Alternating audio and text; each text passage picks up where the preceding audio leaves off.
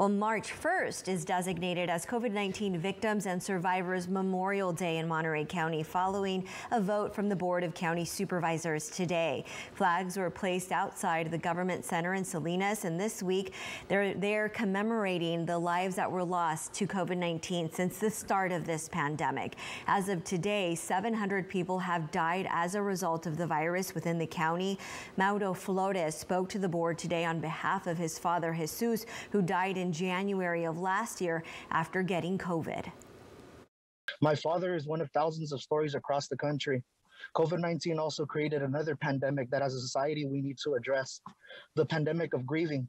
We are reminded every day the reason our family member has passed, and it's like putting a salt into an open wound.